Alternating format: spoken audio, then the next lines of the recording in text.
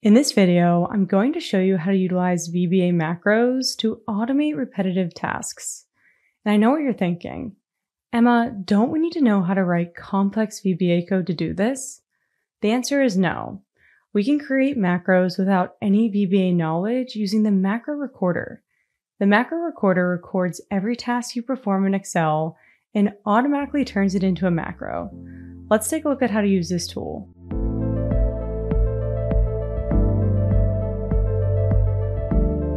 For example, here we have sales data by state that our boss sends us every week, and we have to create a report summarizing this data to present at the weekly team meeting. So every week, we need to take this data, format it, calculate the total sales, and visualize it with a map chart. Instead of repeating this every single week, we can record all these steps and then create the report using a keyboard shortcut. I know this sounds too good to be true, but it's possible thanks to the macro recorder tool. Before we are ready to use the macro recorder, we need to save the file as a macro enabled workbook and add the developer tab to our ribbon if it's not there already.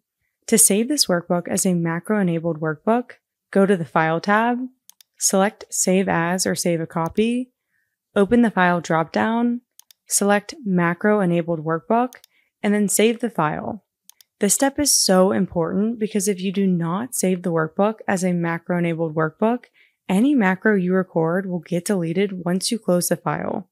Next, we need to add the developer tab to our ribbon by right clicking the ribbon, selecting customize the ribbon, checking the box next to developer in the main tabs list, and then hitting OK.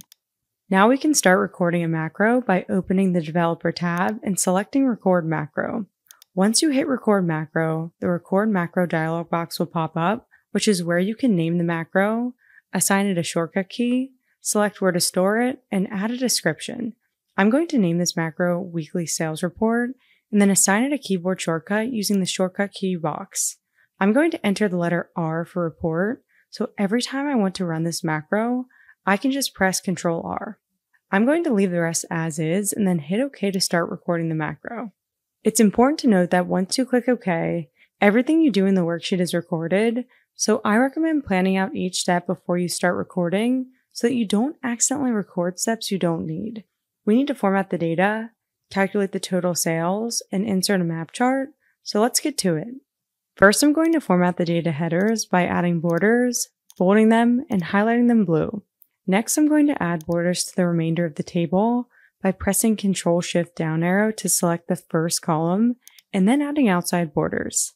It is important to always select data using the keyboard shortcut when recording a macro instead of using the mouse because it creates a dynamic range which enables the macro to automatically detect the bottom of the data table. If I were to select the first column using the mouse and then add the borders, it would hard code the data range in the macro and I would run into errors if I ran it on a dataset with a different number of rows. I'm going to repeat this for the second column by pressing Ctrl Shift down arrow again, and then adding the borders. Now that the data is formatted, I'm going to calculate the total sales above the dataset by entering total sales in cell B2, and then sum in column C of the data using the sum function in cell C2. I'm also going to add some quick formatting to the total calculation to make it look nice. So I'm going to highlight the cells blue to match our data headers, bold the values, add outside borders to each cell, and our total sales calculation is complete. The last step is to insert the map chart.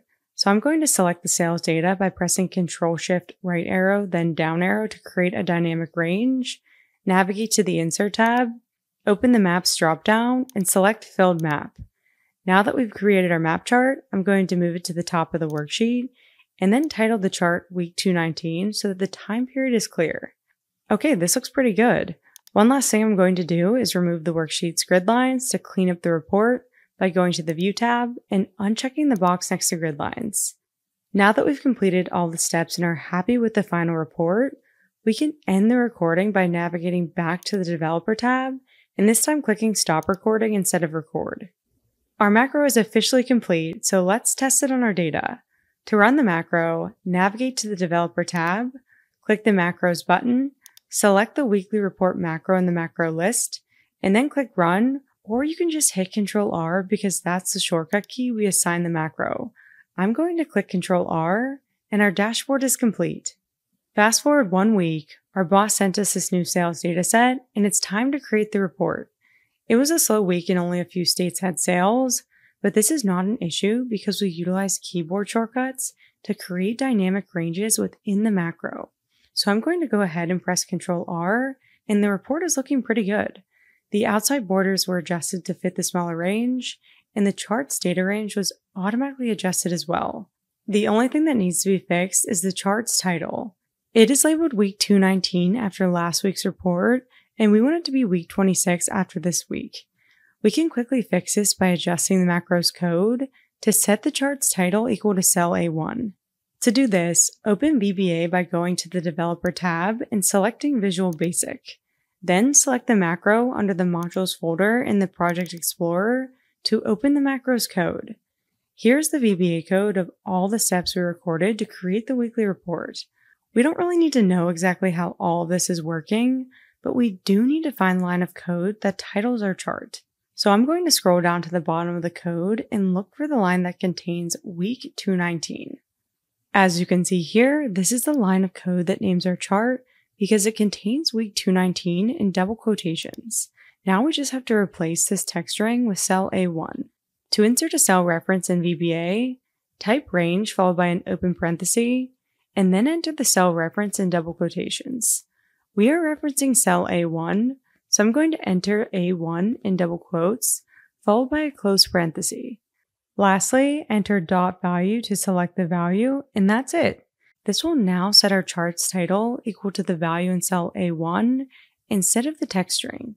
Let's close out a VBA and test this out. Fast forward one more week, we just received new sales data and it's time to create the report. I'm going to press Ctrl R to run our macro. And as you can see, the chart is now named week 34 after cell A1 and our report is complete. This is going to save us so much time from having to manually recreate this report every week. To wrap up, we learned how to use the macro recorder to create macros in Excel without knowing how to write VBA code. Macros can 10 times your productivity by turning repetitive tasks into the click of a button. If you found this video helpful, make sure to hit the thumbs up button below and subscribe to our channel for more.